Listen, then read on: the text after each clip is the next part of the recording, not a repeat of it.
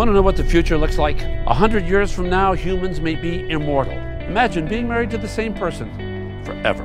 In 50 years, androids will work for us. Just hope we never have to work for them. And scientists are developing a technology that'll help us read minds. That could be awkward. The ideas and controversies of tomorrow are already growing. What happens in the future starts right now. Futurescape with James Woods. The new series begins Tuesday, November 19th on Science. Question everything.